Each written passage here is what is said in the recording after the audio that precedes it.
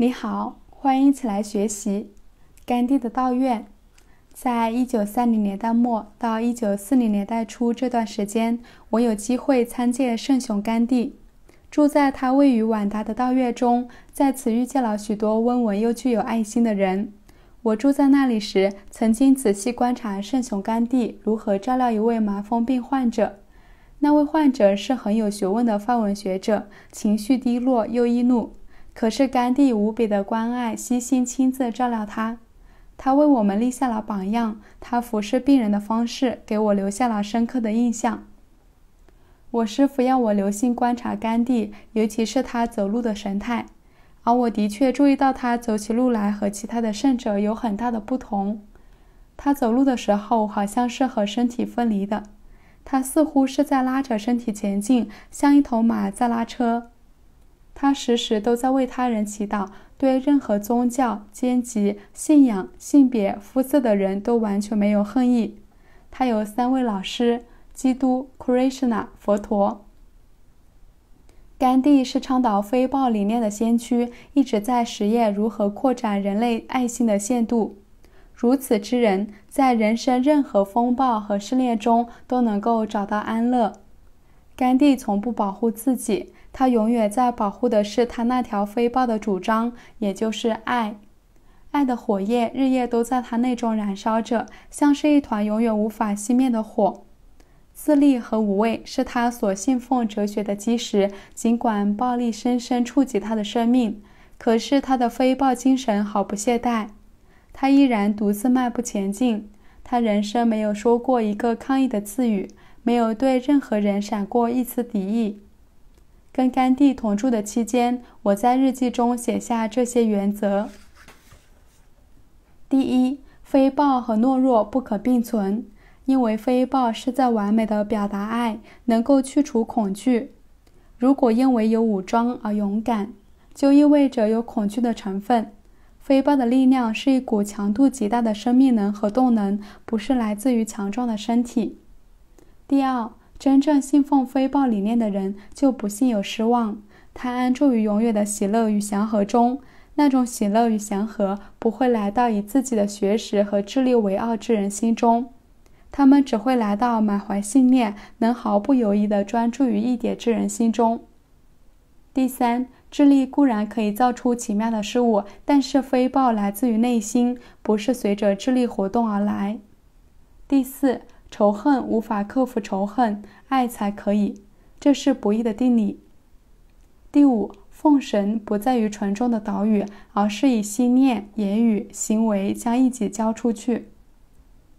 第六，甘地信奉的不是宗教、文化、迷信所造成的壁垒，他所教导且履行的信念是：所有宗教皆是手足。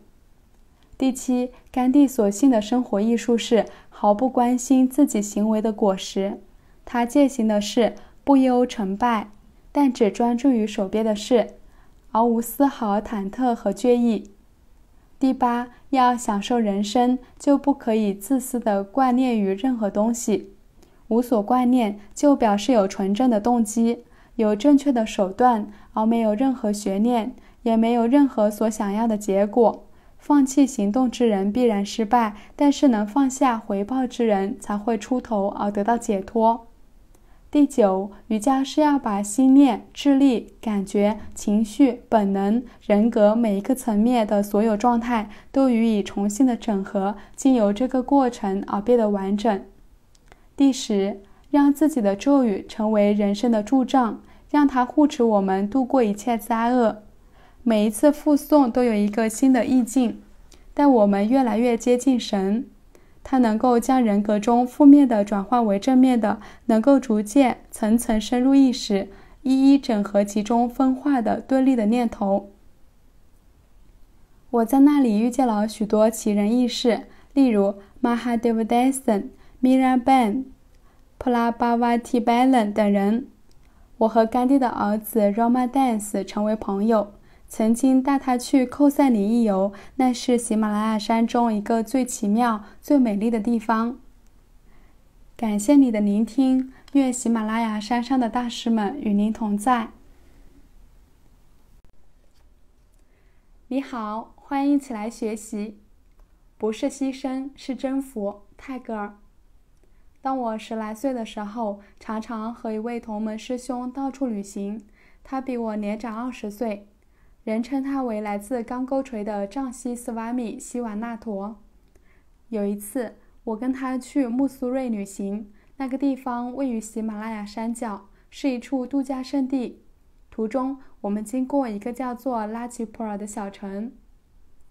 那时候，亚洲大名鼎鼎的诗人若宾·德拉纳特·泰戈尔正落脚于当地的一间小屋内。我的师兄原本来自孟加拉，和泰戈尔的家族很熟，所以我们前去拜会他。他邀我们留下同住，结果我们在那个小屋内住了两个月。泰戈尔变得很喜欢我，他请我的师兄送我去香提。尼克塔学习，那是泰戈尔创立的一所教育机构。我素来就有一个极强的愿望，要前往香提尼克塔。终于在一九四零年到了那里。泰戈尔的儿子若丁·德拉纳特亲自接待我，为我安排了间住房。隔壁就是势利马利克吉，他是泰戈尔以及其所建立的机构最虔诚、忠实的崇拜者。香提尼克塔是当时世界上最美丽、最奇妙的道院之一，有几百名学生在那里住宿学习。香提尼克塔的学生们称泰戈尔为“上师天”，一般民众则对他名字的另一个写法“塔库尔”比较熟悉。他来自孟加拉，是史上最伟大的诗人之一。他外表英俊，卓尔不群，举凡宗教、哲学。文学、音乐、绘画、教育无所不精，广为世人所知。在我跟他同住的期间，我有机会观察他对自己工作的投入程度。他总是在做每天例行的修行，或是忙于写作、绘画。他睡眠的时间很短，白天从不躺下。纵然年老体衰，也不改变任何习惯。我敬他是一位真正的修行高人。虽说世上所有修行人的目的都是想能如神一样，但是对于一位真正如神一样的人，例如泰戈尔，他不需要去模仿印度的其他神人来表达自己。那些从事苦行的人，他们的人生贫瘠如沙漠一般。泰戈尔与他们不同，苦行是获知开悟最古老的一条道途。真正的苦行的确值得尊重。但同样值得尊重的是一条更困难的道途，就是投身入世，履行自己的责任。泰戈尔所坚信的道途是入世，但不被世俗所同化。他的一首诗中有句是：“舍离而得之解脱，不属于我。”充分表达了他的哲学立场。他人生的重点不是牺牲，而是征服。人类所见过的伟人分为三种类型。第一类是那些天纵英明、出生即是伟人；第二类是那些因为无私奉献、殷勤努力而伟大之人；第三类不幸的是那些由媒体和公关手段捧为伟人之人。泰戈尔属于第一类型，他是一位极具天赋、才能极佳的诗人和天才。他一生都奉行奥义书的箴言：“天地间所有含灵蠢动者，神主皆居住其内。”享用他分派给你的，但不可觊觎任何他人之财物。我极敬仰泰戈尔，他是我认识的人当中最包容、最全面、最完整的人。他简直是集全体人类于一身，了解人类的智力以及创造力。他坚信，一个人要成长，是可以兼顾自己的社会责任以及独处的需求。有时我称他是东方的柏拉图。他对东方和西方的看法深受这两种文化中人所推崇。泰戈尔不希望西方人在心理或外表行为上变成东方人，他要的是西方和东方联手进行高贵的竞赛，来推广一个全世界都能够共同尊奉的最高理念。照他的想法，人类的进化就是人格中创造力的一面在进化，只有人类才有勇气对抗生物法则。世界上所有伟大国家、所有高贵的作品，都是因为出于高贵的理念而有。理念是创造力的根本基础所在。诚然，人生布满了种种不幸，然而能运用理念与自己创造力之人就是幸运儿。时间是最好的过滤器，理念是最好的财富。所谓幸运，是帮你在适当的时候表达出你的理念和能力的那个机会。泰戈的哲学越过了那些原本会使得真理变得模糊不清的障碍。照他的想法，长久以来，死亡一直是恐惧和苦痛的源头，因为人没有好好思虑过真理。哦，为死亡迫近而苦而恐惧之人，应该聆听、学习泰戈尔的音乐，从中学会如何在无边和永恒中失去你自己。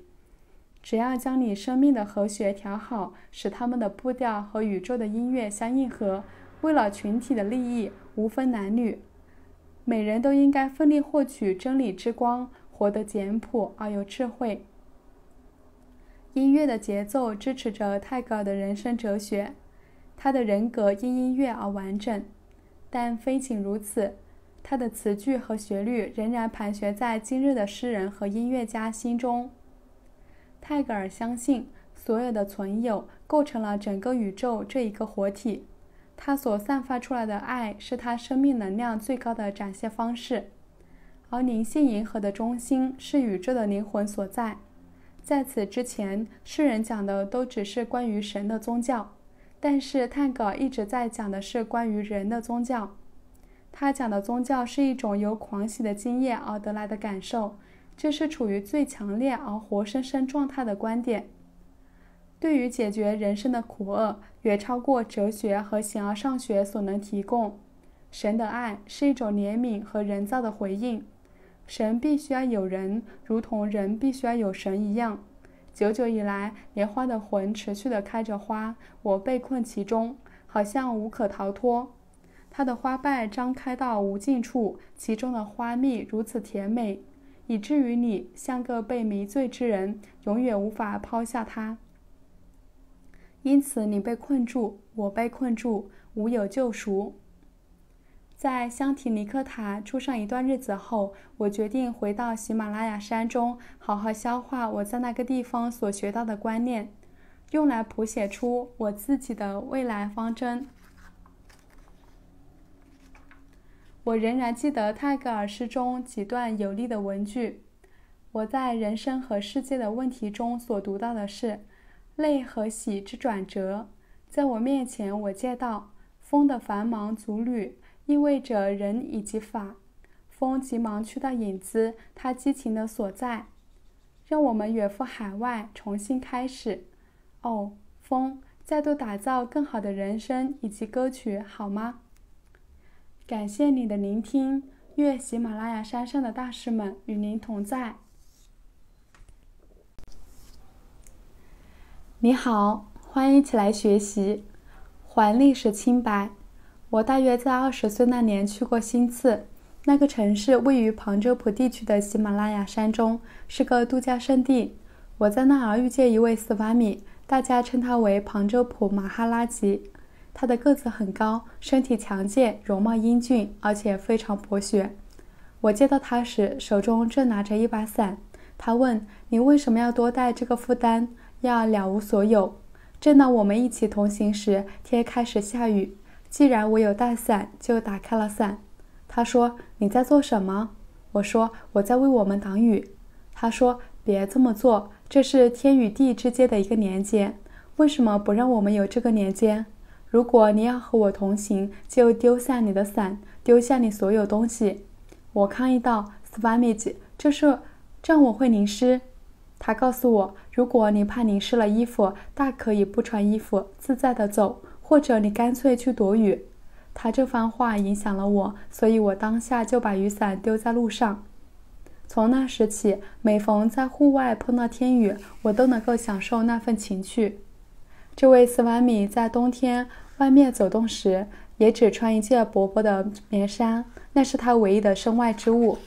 他是一位感官非常敏锐之人，但是他能够完全控制自己对于冷热的感觉。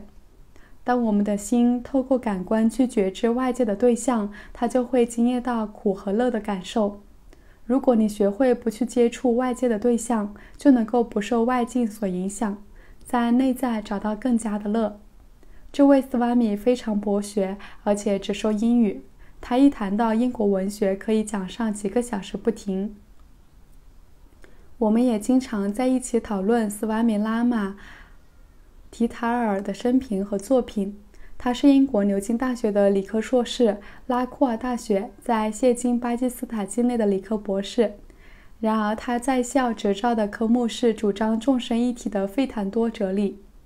他非常憎恶统治印度的异族人。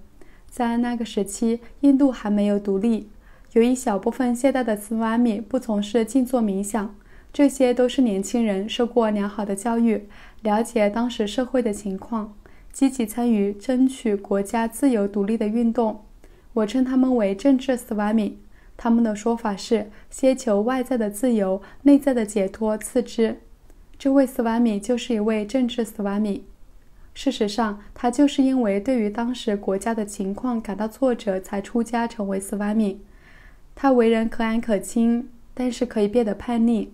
他并不遵守一般出家人的作息规矩。反而把全部时间用在思考如何推翻英国人对印度的统治，这是他生命所追求的目标。有时候，他因为辱骂英国人，一天内连续两次遭到逮捕。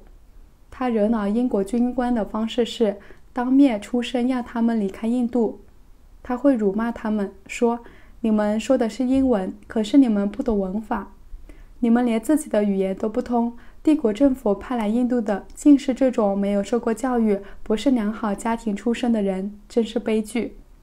有一回，我们走在新次郊外的山中，有一名英国军官骑着马从对面飞奔而来。当他见到我们在路中，忽地勒停他的马，对我们大叫：“你们这些猴崽子，别挡路！”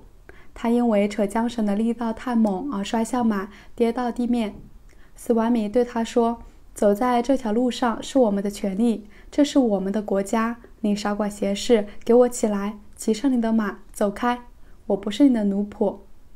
第二天，斯瓦米被逮捕，但是两个小时内就获得释放。当地邦政府的首长在伦敦就跟他相识，也知道如果关他入狱，只会造成更多问题。在这段时间，我对英国的统治者也有反感。甚至考虑过投身加入独立自由运动。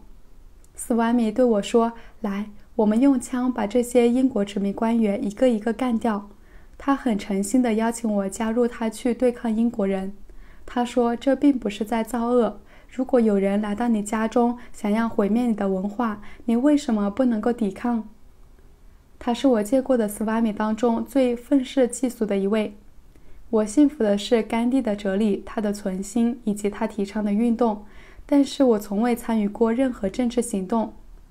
我想影响这位斯瓦米离开政治，而他想影响我进入政治。这样子持续了四个月之久。他试着要说服我，而我的师傅说过，我不可以参加任何政治团体党派。师傅说：“你来自宇宙，是世界的公民，为什么只认同印度的人民？”你该关心的是全人类。你首先要培养出内在的坚韧力，磨砺你的智慧，学会控制自己的情绪，然后才行动。狂热的献身于任何一个国家，即使是像印度这样一个心灵巨国，有失你作为出家人的身份。师傅告诫我，绝对不可以参与任何暴力的行动。他甚至预言了印度独立的日子。其后，我和这位斯瓦米分手。我们走上各自不同的道路。就在那年，他在喜马拉雅山的库鲁谷地被英国警察所射杀。我待在新寺的时候，遇见一名英国传教士，他正在写一本关于印度文化和哲学的书。他让我读了草稿，我读了大经。他对印度文化、文明和哲学的描述，有好几处根本是在扯谎。他甚至还想要我改变信仰，想引诱我和一位富有的英国女孩结婚。我该改变什么生活方式和文化习惯？我深爱耶稣基督以及圣经，所以我也喜欢基督教。但此人却让我在心中大起反感。从此以后，我都避免接触那些在印度城市、村庄、山地到处可见的基督传教士们。他们受到英国政府的资助，其实是披上传教士外衣的政治人物。他们会写出这个样子的书，根本是有意试图毁摧毁古老的吠陀文明。吠陀文化和哲理是好几个宗教之母，例如印度教、耆那教、佛教、锡克教，而他们竟然刻意去扭曲它。那位斯瓦米极力反对这些传教士，他对他们说。你们不是基督真正的信徒，对圣经也不是真的懂。这些英国的传教士两三百年来一直在试着摧毁印度的文明，但是他们没有成功。有两个主要的原因：一，印度文化和文明的建设者及守护者是妇女；二，百分之七十五的印度人口住住在乡村，一直没有接触英国统治者和传教士。虽然外来的异族人民统治了印度好几百年，但是他们无法改变印度的文明。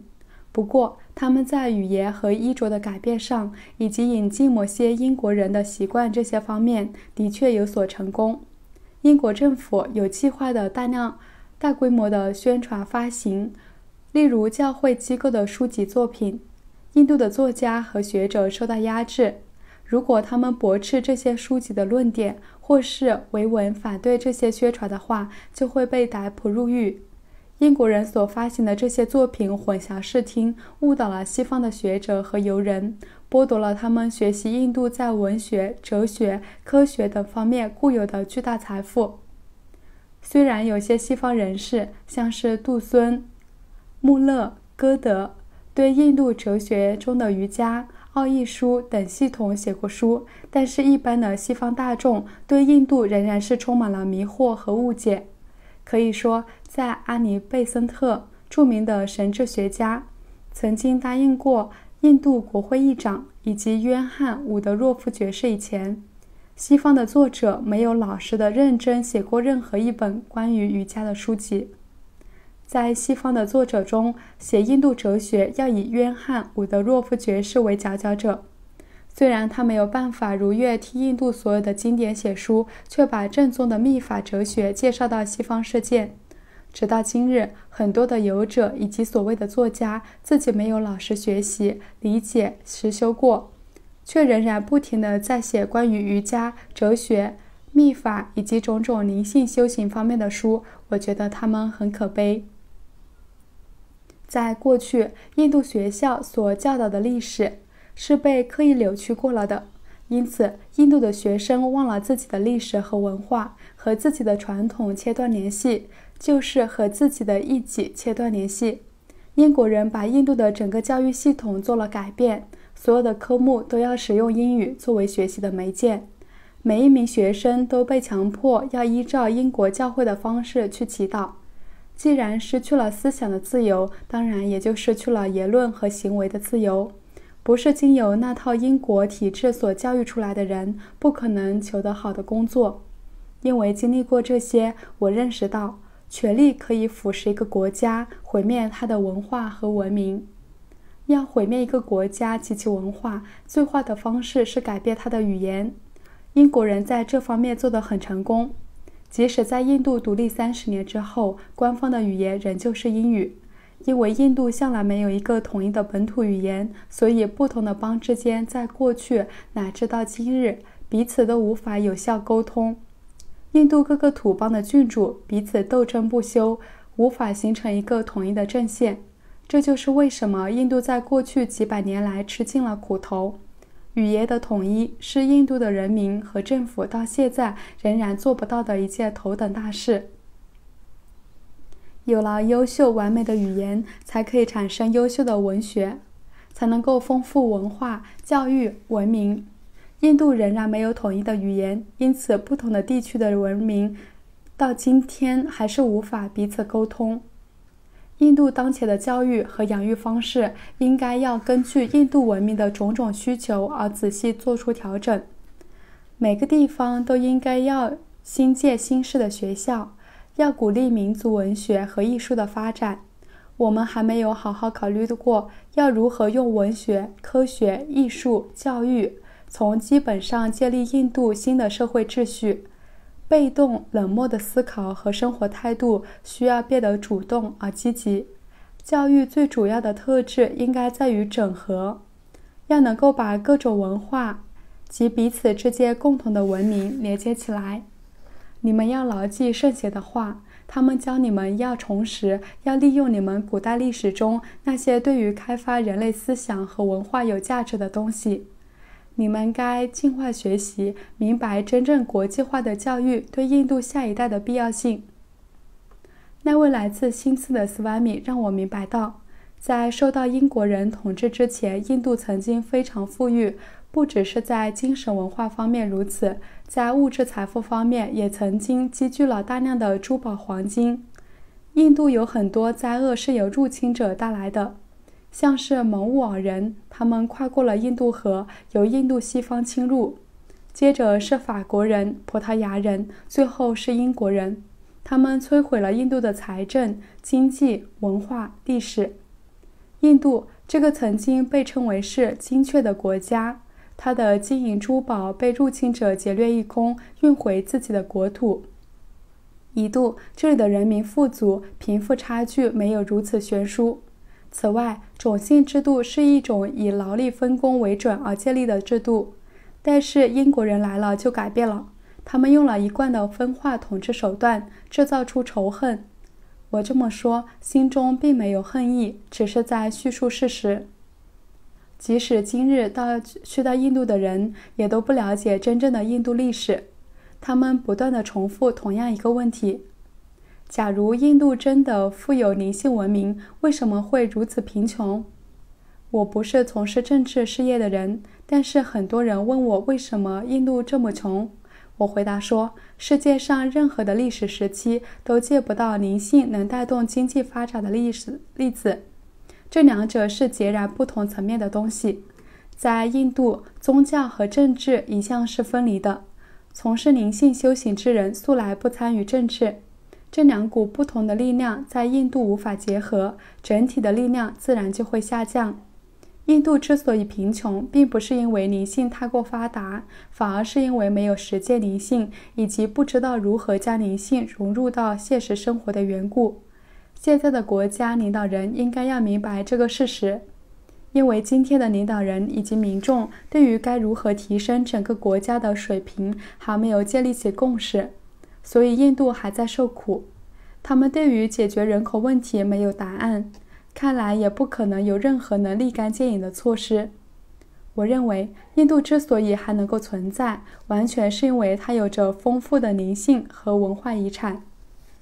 任何的国家、民族、团体都有文明的一面以及文化的一面，这两面是不可分的。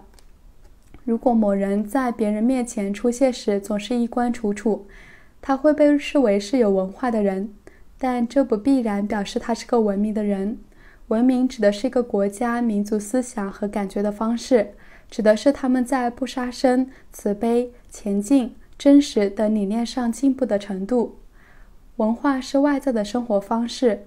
文化是一朵花的话，文明就是花的芬香。一个穷人是可以是有文明的人，但是一个不文明的人，纵然有文化，纵然与外在事件是成功的，对于社会却是没有帮助，因为他内在少了那份能够滋养个人及民族成长的品质及德性。文化是表现外在外的，文明是蕴藏在内的。在现代世界里，这两者必须要能够整合。印度的文明非常丰富，但是它的文化已经变成是一种伪劣版的英国文化。所以到今天仍然给印度带来种种问题。感谢你的聆听，愿喜马拉雅山上的大师们与您同在。亲爱的朋友们，制作视频不易，您的每一个留言和每一个点赞、关注都是我前进的动力。如果觉得我的视频对您有帮助的话，请您给我点个赞吧，感谢您的支持。